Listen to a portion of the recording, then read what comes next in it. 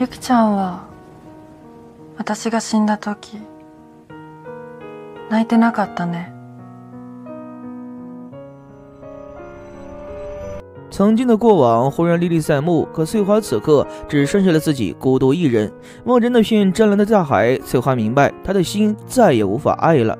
赖死后的时光里，翠花变得郁郁寡欢，仿佛成为了这个岛上最孤独的人，对一切都失去了兴趣。同学的集体聚会，她像一个不合群的幽灵，戴上耳机，享受自己那份寂静。所有人都在期待接下来的旅程时，她却悄悄离开，坐到那四下无人的地方，不知所以地望着眼前的风景，脑中满是赖的形象。之后面对男生的邀请，翠花尽量逼自己要保持浓厚的兴趣。而他的一举一动却被班级里那些所谓的女权女生们当作笑料，在私下肆意的嘲笑挖苦。他失去了一切，仿佛又获得了很多。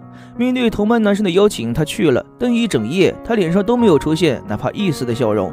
跟男生相处的时光里，他一次次想要跳出赖带来的阴霾，但一次次以失败告终。他还是喜欢自己一个人静静的坐着，不被打扰的思念着。他时常独身走到海边，跟赖一起去过的那个海，静静的一个人。面对男生的深情告白，他毅然决然的拒绝了，因为在他的世界里，心里只能容下一个人，那就是赖。